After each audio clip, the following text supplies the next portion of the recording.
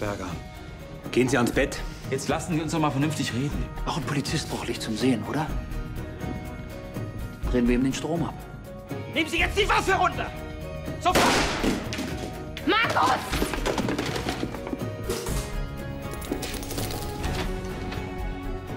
Marie!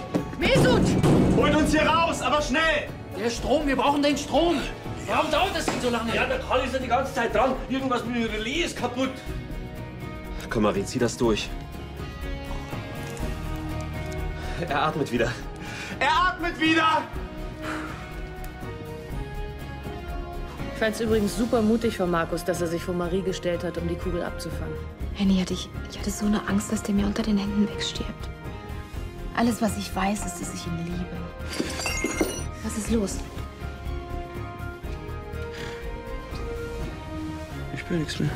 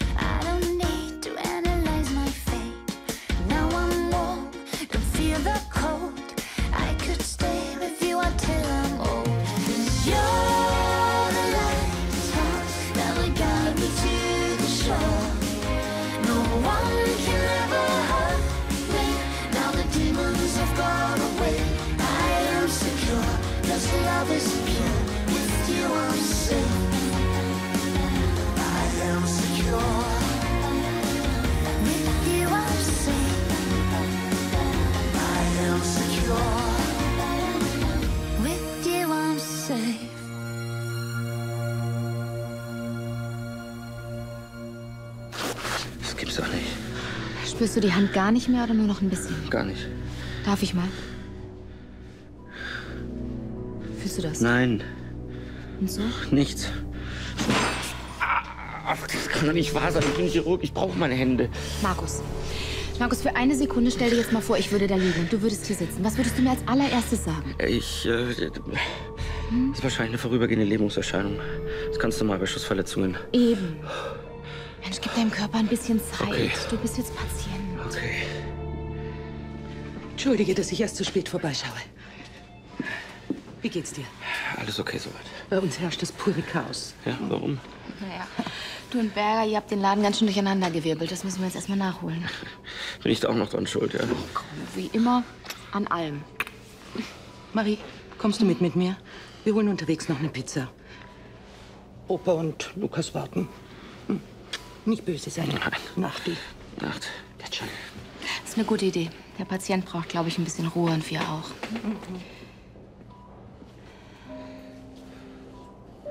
Alles okay bei dir? Ja, ist okay. Schlaf ein bisschen, ja? Ich versuch's. Und mach dir nicht so viel Sorgen.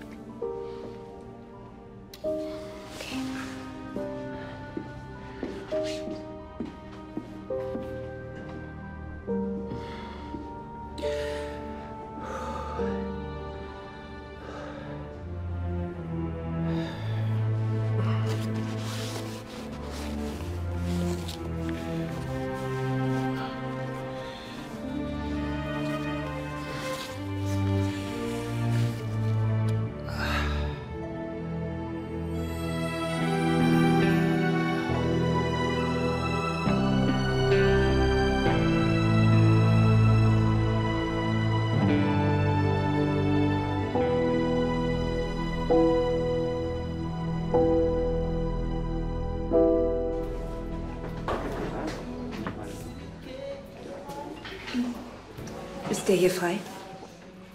Klar. Oder möchtest du lieber alleine sein? Nein, nein, geht schon.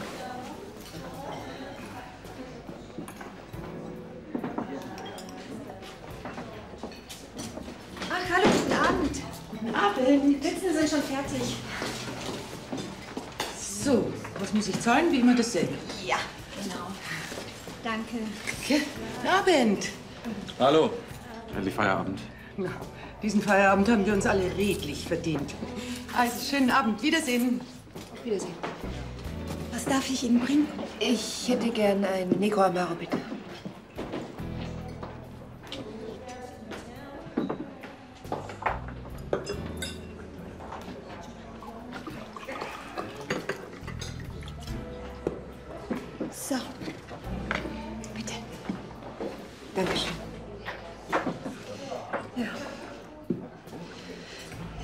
Ja, dann.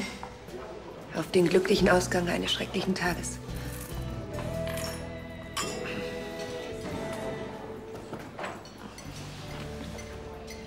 Das mit Berger heute hätte wirklich böse ausgehen können. Ich hatte schrecklich Angst um dich. Das weiß ich. Gott, Stefan, ich bin wirklich glücklich, dass der Schuss nicht dich getroffen hat. Dr. Lindner ist unser Kollege. Und du bist glücklich? Ja, so, so habe ich das doch nicht gemeint. Klang aber anders. Isabel, nächstes Mal erst nachdenken, dann reden. Danke für die Einladung. Guten Abend.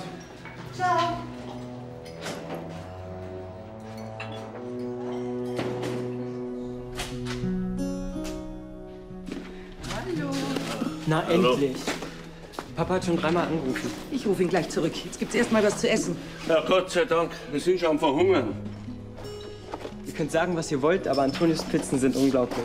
Stimmt. Ich habe übrigens gerade Dr. Jungenstellers getroffen mit seiner Frau. Ich dachte, die wären gar nicht so gut aufeinander zu sprechen.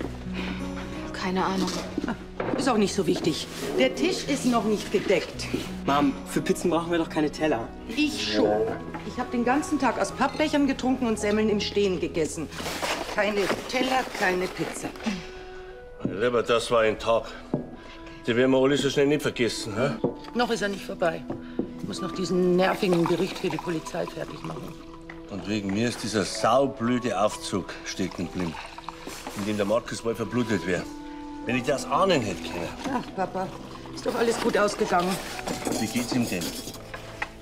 Er hat echt Glück gehabt. Tobi hätte ihn fast getötet. Aber mal ehrlich, so haarscharf wie das war, da schaut er schon wieder ganz schön mit den Hufen. Markus ist so ungeduldig. Wenn es nach dem gehen würde, dann wäre er schon längst wieder im OP. Als Arzt? Ausschließlich als Arzt. Das habt ihr mir doch hoffentlich ausgeredet, oder? Du kennst doch deinen Enkel. Wenn Vernunft nicht hilft, dann muss man ihn halt anbinden. Fixieren heißt es bei den Medizinern. hä? Das wird ja wohl hoffentlich nicht nötig sein. Na, solange du an seiner Seite bist, wird er schon vernünftig sein. Hm?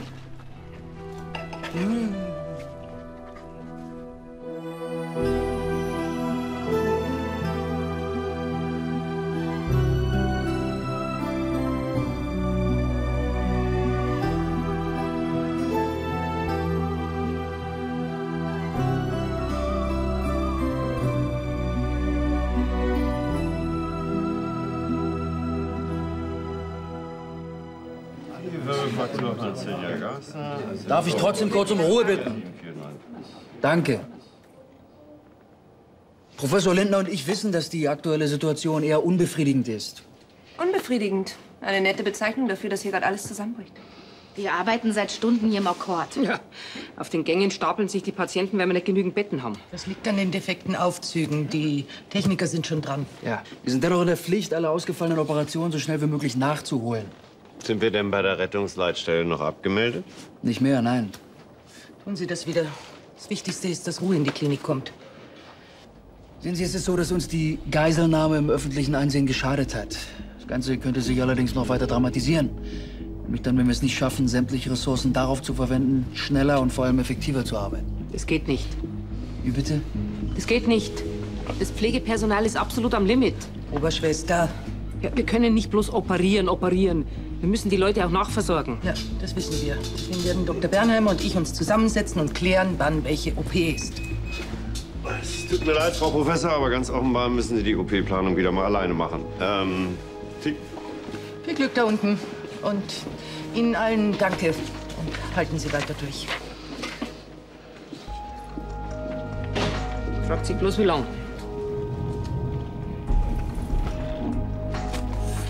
Meine Herren,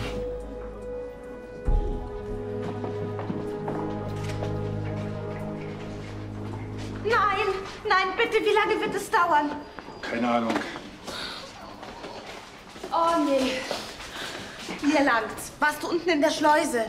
Ja, ich habe die Betten auf dem Flur gesehen. Wie sollen wir das jemals abarbeiten? Riecht nach Überstunden. Unbezahlt.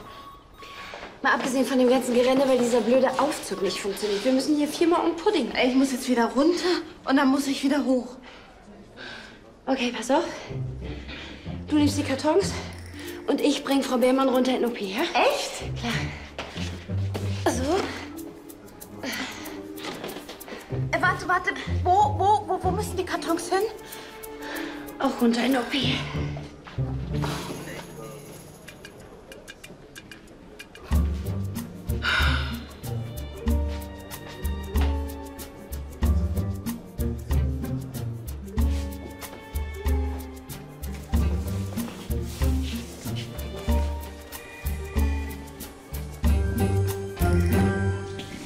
haben wir? Silke Sperling, 42. Plötzlich einsetzende Übelkeit und starke Schmerzen im Bauchbereich. Wir haben sie gerade eben am Bahnhof aus dem Zug gefischt. Frau Sperling, mein Name ist Dr. Bernheimer. Hören Sie mich? Verstehen Sie, was ich sage? Sie müssen nicht mit mir reden, wenn Sie nicht können. Können Sie mir zeigen, wo es Ihnen genau wehtut? Ulkus? Eher unwahrscheinlich. Sieht mir nach unteren Quadraten aus. Eins, zwei, drei. Appendix. Möglich?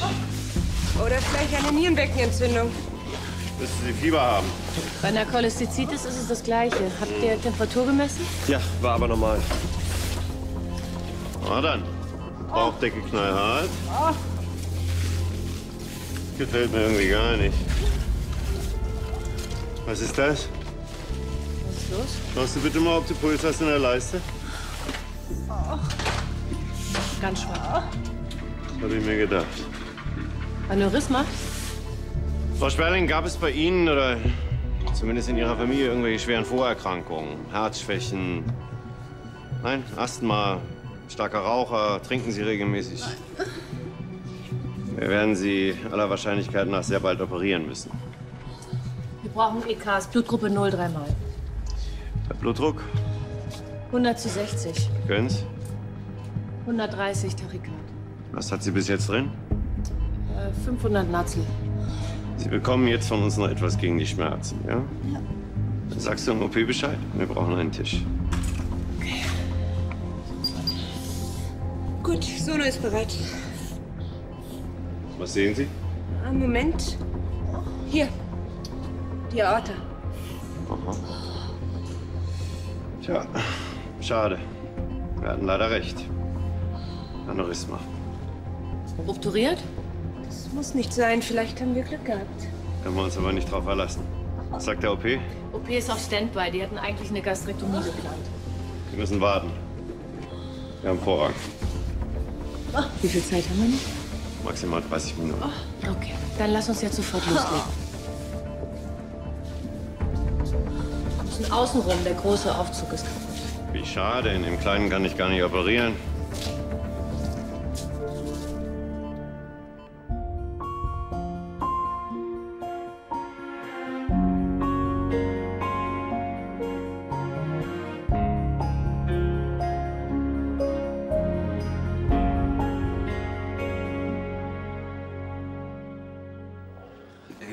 Ich musste gerade noch im Schockraum aushelfen. So kann es einfach nicht weitergehen. Warum lässt die Frau Professor Lindner so ein Chaos zu? Wir kommen mit der Nachversorgung nicht mehr hinterher. Ja, von der täglichen Pflege auf Station jetzt mal ganz abgesehen. Wir haben es nicht mehr geschafft, das Frühstück aus den Zimmern abzuräumen. Und dabei war der Frühdienst schon eine Stunde eher da. Ja, Leute, ich weiß, es geht momentan alles ein bisschen drunter und drüber. Ja, ein bisschen ist gut. Schaut, die Situation ist, wie sie ist. Und das Chaos, das der Berger verursacht hat, für das können wir nichts. Und auch nicht für den kaputten Fahrstuhl. Ja, aber wir müssen es ausbaden. Ja gut, dann sperren wir halt das Krankenhaus zu und gehen heim, wenn ihr das wollt. Ja, von wollen kann jetzt hier keine Rede sein. Mesut, schau. Wir haben Patienten, die für dieses Chaos absolut nichts können und die auf unsere Hilfe angewiesen sind. Und ich weiß auch, dass ihr alle vollkommen überlastet seid. Und wie kommen wir aus dem Schlamassel wieder raus? Ich schreibe jetzt einen neuen Dienstplan. Aber es wird nicht ohne Doppelschichten gehen. Ich weiß schon, Beate. Du hast zwei schulpflichtige Kinder daheim. Reichen dir zwei Stunden mittags? Und was ist es mit dem Fahrstuhl? Na, der ist kaputt, aber da sind sie dran, der wird repariert. Ein bisschen Treppensteigen schadet uns allen nicht. Ja, Leute, ich danke euch ganz herzlich. Aber jetzt packen wir's an.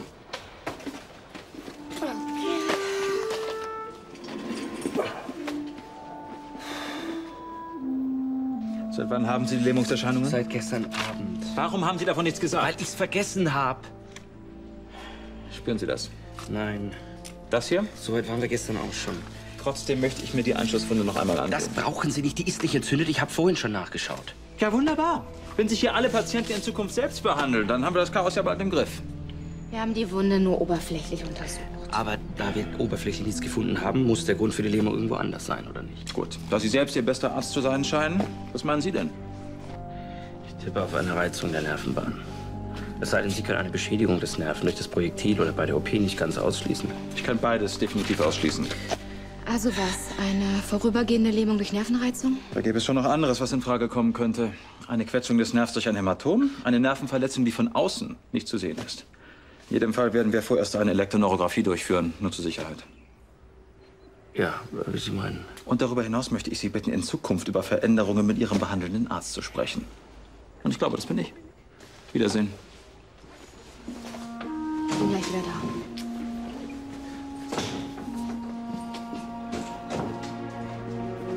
Was soll das? Bitte? Warum malen Sie den Teufel an die Wand? Tue ich das? Ja.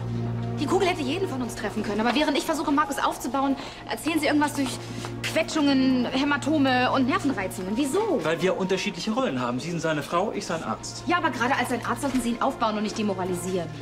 Dok Dr. Egger, als Arzt sollte Ihr Mann in der Lage sein, mit einer Diagnose umzugehen. Denn hier muss ja jeder mit unliebsamen Wahrheiten klarkommen. Darum geht's also. Sie sind sauer auf mich und lassen es an ihm aus. Ich bin verärgert, weil Sie und Ihr Mann hier eine Privattherapie durchführen, anstatt mir Bescheid zu sagen. Was ist alles? Ich weiß überhaupt nicht, worauf Sie anspielen. Aber hören Sie auf, meine Worte zu interpretieren. Unsere Zusammenarbeit hier ist im Moment ohnehin schon schwer genug.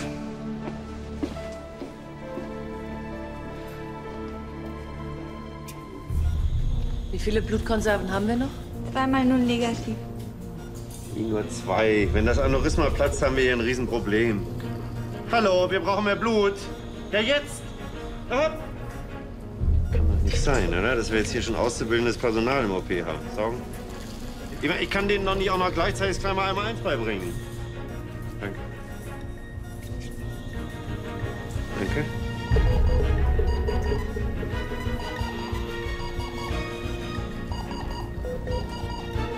Das sieht wirklich übel aus.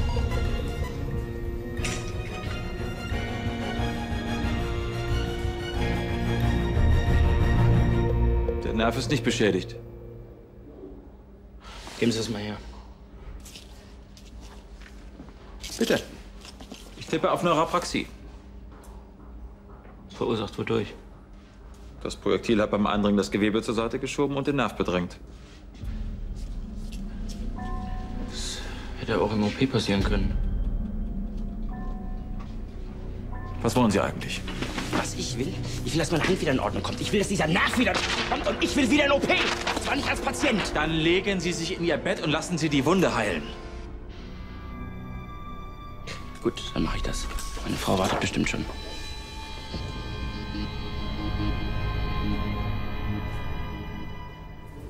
Das Aortenaneurysma zieht sich über vier Zentimeter. Ortenklemme.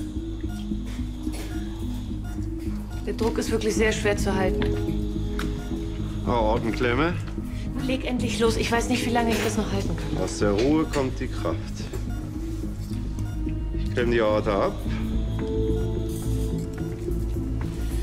Sieht nach Debarcade 2 aus. Sehr schön. Saugen. Fixieren. Schön, schön. Mensch, Frau Dr. Jung, was hätte noch aus uns werden können, wenn wir das mit dem Medizinstudium zu Ende gebracht hätten, ha?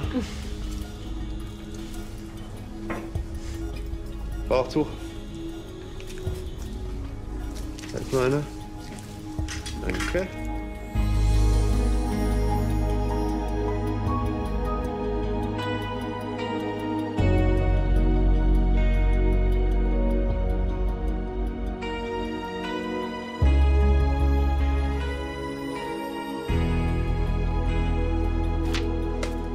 Wir sind jetzt schon am Anschlag.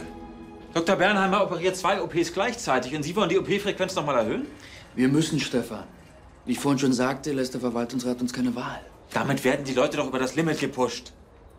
Ihr seid Profis. Auch Profis sind Menschen. Und wenn Menschen müde werden, steigt das Fehlerrisiko. Dann dürfen eben keine Fehler passieren. Ich verstehe Ihre Bedenken, Herr Kollege, aber wir haben keine andere Wahl. Bei jedem Patienten, der auf seine OP wartet, zahlen wir drauf. Das, was wir von den Kassen kriegen, ist gerade mal eine knapp bemessene Pauschale. Das reicht nicht. Der Verwaltungsrat wird uns ansonsten die Kosten kompensieren, indem Sie langfristig Personal einsparen. Und dann wird das, was wir jetzt haben, zum Dauerzustand. Vielen Dank für das Gespräch. Sorg einfach dafür, dass der Plan eingehalten wird, ja?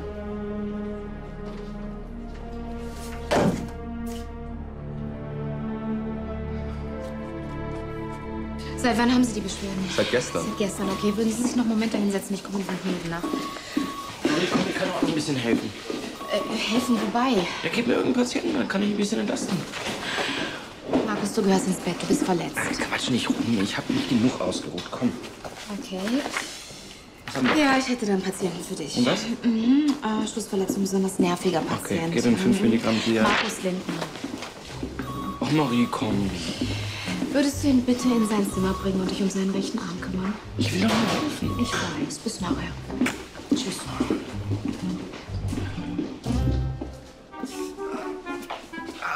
Alles klar?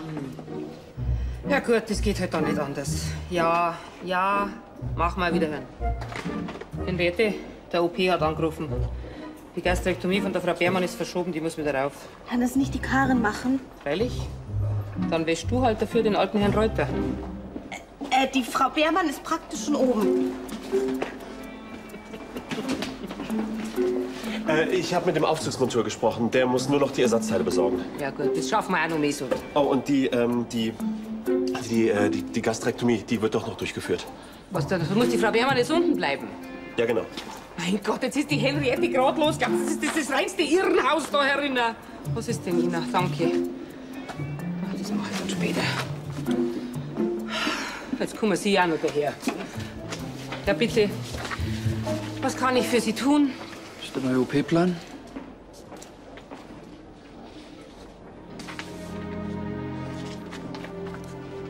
Ist aber nicht Ihr Ernst, oder? Und keine andere Möglichkeit. Ach so. Freilich haben wir eine andere Möglichkeit. Wir können die Patienten sich gleich gegenseitig selbst operieren lassen. Das ist ungefähr genauso riskant wie der OP-Plan da. Also jetzt bleiben Sie sachlich. Ich bitte Sie, Frau Professor, das geht doch nicht. Fünf Minuten für eine OP-Vorbereitung. So lange? Hören Sie endlich mal auf mit Ihrem Gezeter, kommt keiner weiter. Ja, ebenso wenig wie mit diesen ewigen, unergiebigen Diskussionen. Vielleicht sollten wir lieber stattdessen unsere Arbeit machen. Also, frohes Schaffen allerseits. Na gut. Dann packen wir's halt wieder. Ich komme eh kaum mehr auf.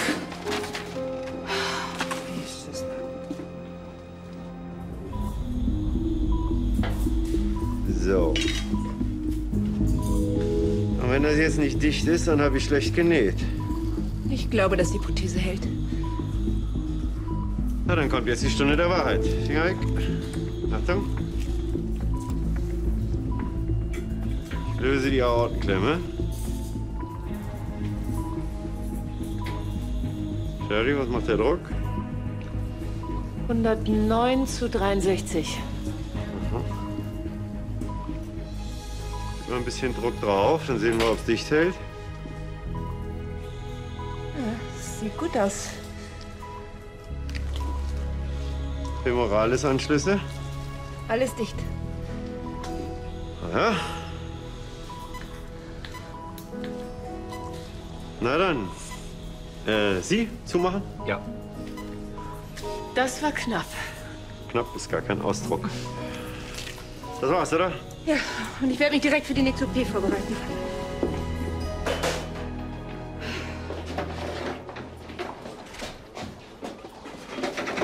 Hey, wie lange dauert das eigentlich noch?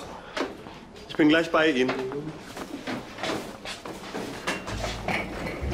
Entschuldigung, Schwester, was ist denn jetzt mit meinem Arm? Äh, gleich, ja?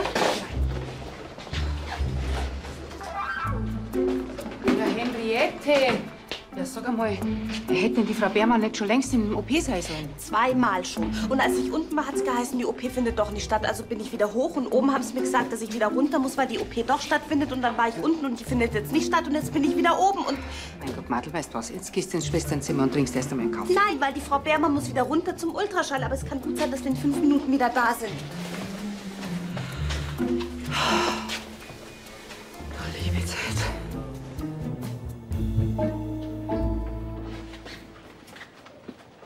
Servus, Hans.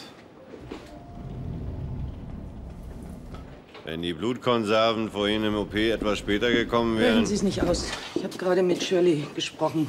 Ich weiß, wie knapp das war. Knapp? Knapp ist überhaupt kein Ausdruck, das war haarscharf. Und jetzt auch noch das hier. Jetzt fangen Sie nicht auch noch an.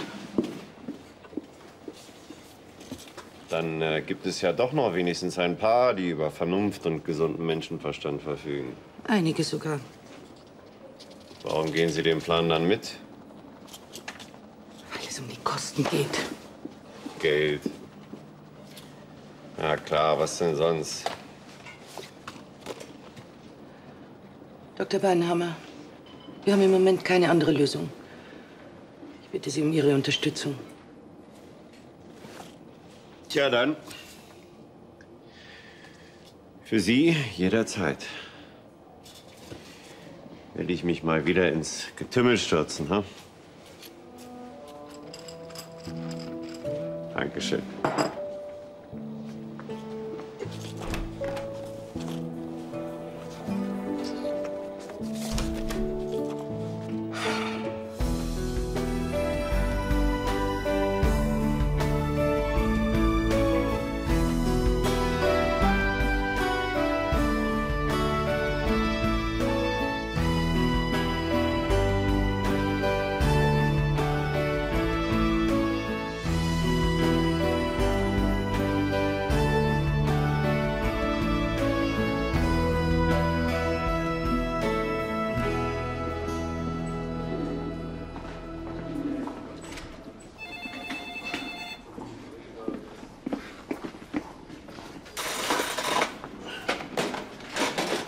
Was werden das, wenn es fertig ist? Ein funktionierender Aufzug, wenn das alles so geht, wie ich es mir gedacht hab. Und wenn nicht? Ja, dann muss halt der Monteur den Auftrag selber fertig machen. Der Lift geht nicht, Entschuldigung. Ja, so. Aha, und wenn der Monteur dann kommt mit seinem Ersatzteil und sie irgendwas kaputt macht? Geh, geh, geh, geh, was soll denn ich da kaputt machen, hä? Ah, Entschuldigung, bitte schön, Herr Ja. Ober, wie kommen wir überhaupt auf die Idee, dass Sie was kaputt machen? Sagen Sie mal, was sind denn Sie überhaupt so grantig? Ich will doch bloß helfen. Helfen wollen Sie? Ja. Wissen Sie was? Dann rammen Sie jetzt zuerst einmal einer ganz Zeigel da Das ist, das ist kein Zeigel nicht, das ist ein spezialisiertes Spezialwerkzeug, gell? Aha, gut, na dann halt ein spezialisiertes Spezialwerkzeug auf Zeiten. Nicht, dass mir da noch jemand drüber fällt. Ich habe nämlich weder einen freien OP noch einen funktionierenden Aufzug. Herr Hofer, haben Sie den Aufzug repariert? Wollte ich nicht. Man lässt mich nicht. Was? Wieso darf denn der Herr Hofer den Sag einmal? Mesut, was mischst du denn du da ein? Hast denn du keine Arbeit? Du, ich hab 100 Aufgaben für dich. Nee, nee, bloß nicht. Ich, ich bin ja jetzt schon total Ja, voll bis also dann. oben. Ja, ja, dann, dann gehen wir, gehen wir, gehen wir.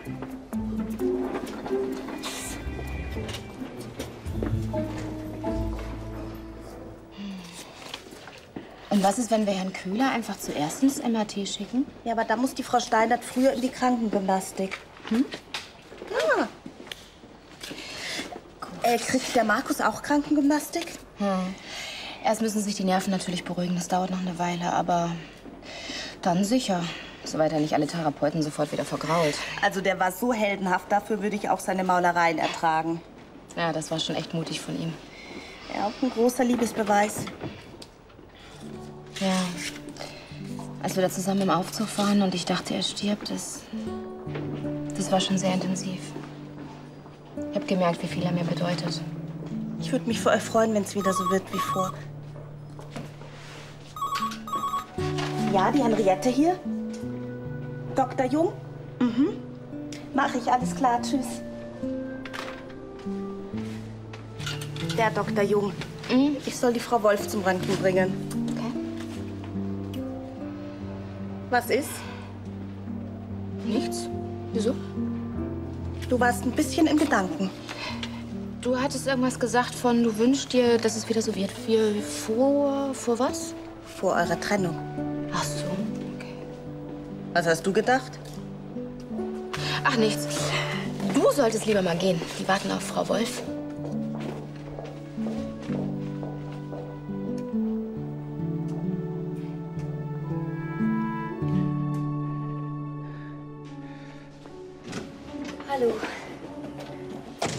Will kurz nach der Wunde sehen. Sorry, dass ich so spät bin. Alles okay mit Ihnen? Ach, tut mir gerade ein bisschen weh. Können Sie mir bitte was gegen die Schmerzen holen? Ah, ich glaube, Sie brauchen einen Arzt. Ich bin Arzt. Tramadol-Tropfen, bitte. Meinen Sie nicht, das wäre besser? Nein, das glaube ich nicht.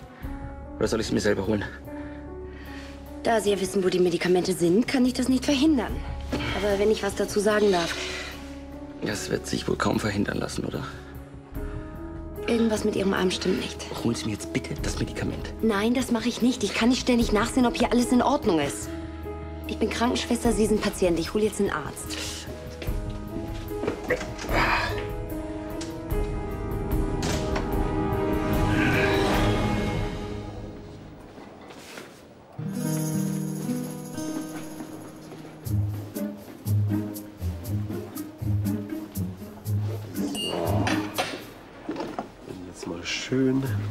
Kaffee.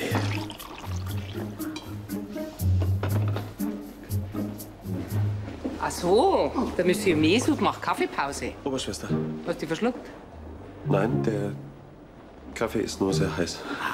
Weißt du was, Mesut, dann werde ich zukünftig den Kaffee für dich runterkühlen. Bloß heute bei dem ganzen Stress habe ich keine Zeit für solche Spinnginkerl. Und du, du trinkst deinen Kaffee in der Kaffeepause oder in der Mittagspause und nicht, während deine Kollegen da draußen schuften. Alles klar. Ja?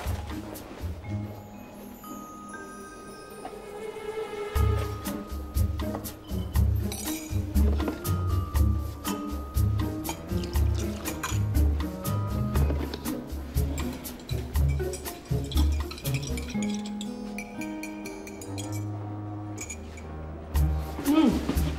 Ist ja wirklich was. Aha. Vielleicht noch einen Keks dazu? Leichte. Behalten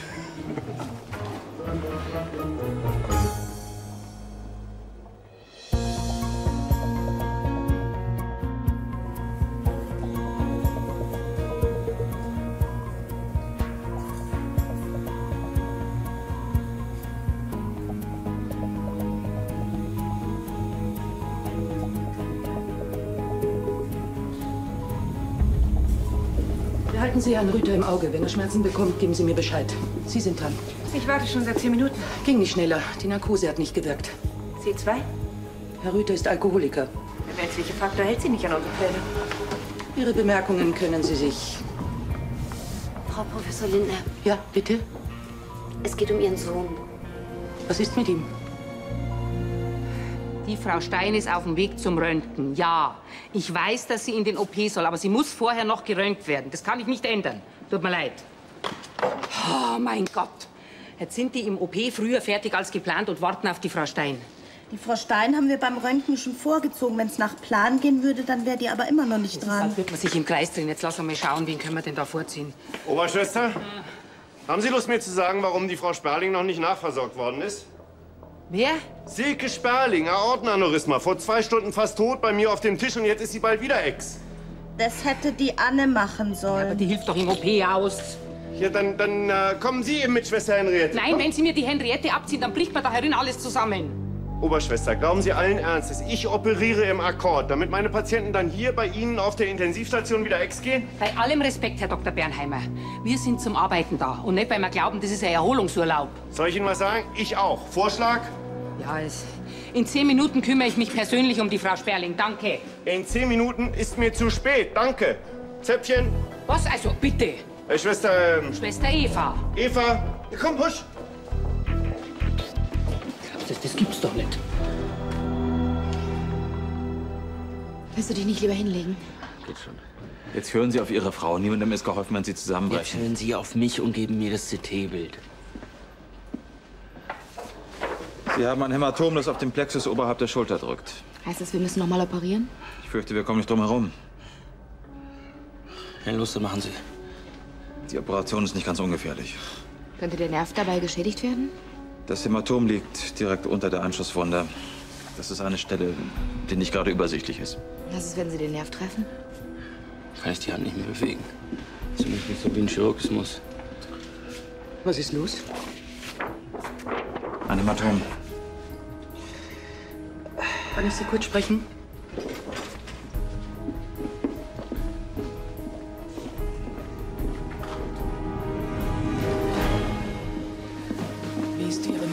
Er hat starke Schmerzen, aber eine Operation konnte den Nerv sofort entlasten. Risiken? Gibt's immer, aber in dem Fall kalkulierbar. Wie eilig ist die Sache? Am besten sofort. Ich weiß, dass Sie eigentlich gar keine Zeit haben. Sie haben den Plan gemacht. Oh, Wie konnte ich das vergessen? Als nächstes habe ich eine Cholezystektomie. Ist nichts Dramatisches, das kann bis heute Abend warten. Damit wir uns recht verstehen, ich möchte keine Sonderkonditionen, nur weil Markus mein Sohn ist. Aber er ist mein Patient und muss dringend operiert werden. Ich wünsche Ihnen viel Erfolg. Ach, du liebe Zeit. Jetzt steht da immer noch das Frühstück rum. Ist das na? Sagen Sie mal, hat denn das niemand abgeholt? Neuerdings ist ja hier selbst bedient. Das ist eine ganz eine große Ausnahme. Ich verspreche Ihnen, morgen läuft wieder alles ganz normal. Na, wenn Sie das sagen. Ja, gute Besserung, gell?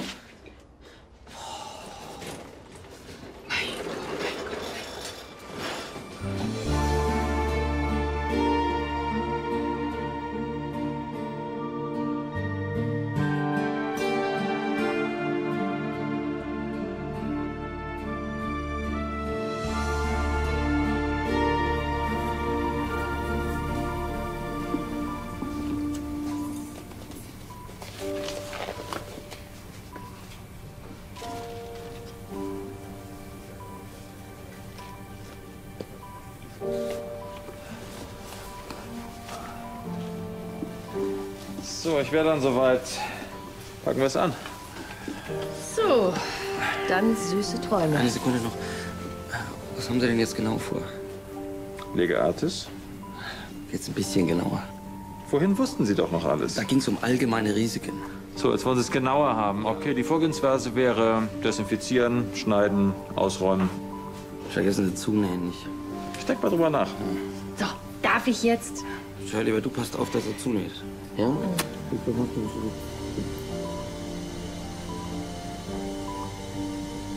Er schläft. Danke.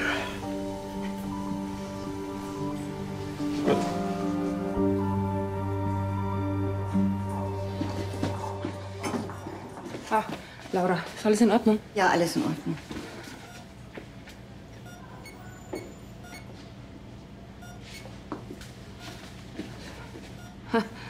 Frau Sperling, Sie sind ja wach. Ich hab gemeint, Sie schlafen noch. Ich hab so Durst. Mhm. Jetzt schauen Sie her. So. Nochmal. Jetzt. Mehr dürfen Sie noch nicht. Meine Tochter.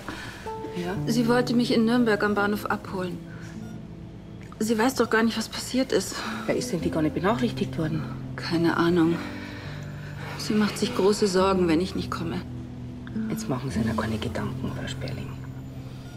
Ich rufe Sie gleich an.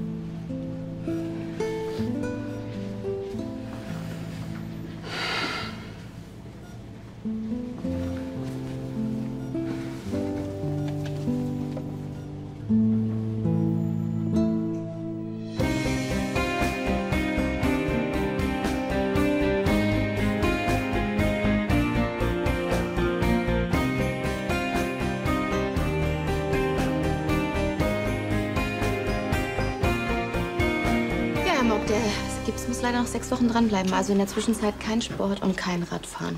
Tut mir leid. Sehen wir uns dann wieder? Okay.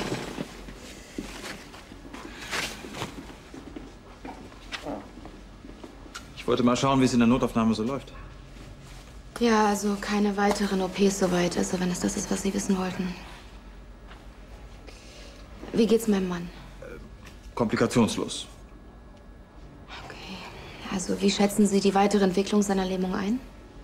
Lässt sich momentan noch nicht genau sagen. Jedenfalls gibt es keinen direkten Zusammenhang mit dem Hämatom. Also eine Neuraplaxie. Ja, der Nerv ist äh, mit höchster Wahrscheinlichkeit durch die Schusswunde äh, gereizt, ja. Ja, oder durch die OP. Das hat mich Ihr Mann auch schon gefragt. Nein! Entschuldigung, tut mir leid. Der Stress. Ich äh, habe selbst ein bisschen blanke Nerven. Ja, so geht's uns wohl gerade allen. Ihnen und mir vielleicht noch ein bisschen mehr, glaube ich. Es tut mir leid, ich muss wieder arbeiten. ich. Ich wollte dich, Sie, nicht bedrängen. Tut mir leid.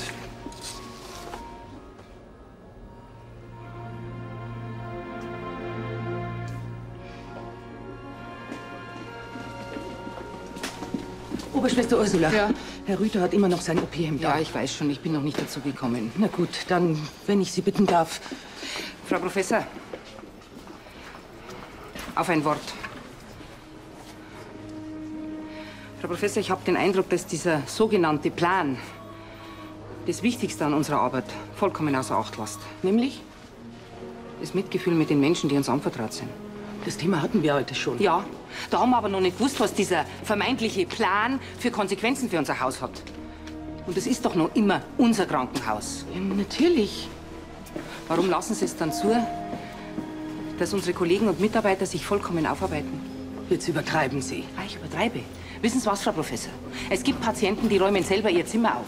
Und dann gibt es solche, die liegen stundenlang auf den Gängen und warten. Und es gibt Patienten, die haben nicht einmal so viel Aufmerksamkeit, dass man ihre nächsten Verwandten benachrichtigen kann. Der Verwaltungsrat. Der Verwaltungsrat, der Verwaltungsrat. Hören Sie doch auf, sich andauernd hinter diesem Wort zu verstecken.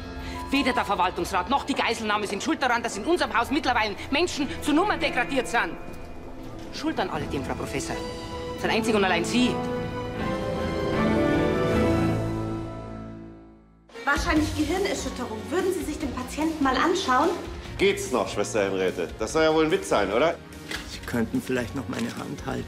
Die nächste OP ist mein Herr Rehse mit seiner Schilddrüse und operierender Arzt ist Dr. Jung. Ich könnte echt kotzen. Die haben den OP doppelt belegt. Nicht hübsch, aber fürs Erste wird's reichen. Schwester Henriette, Herr Kling gehört jetzt ganz Ihnen. Das ist romantisch. Wie Sie sehen, Herr Borowski, arbeite ich hier an Lösungen. In einem anderen Ton.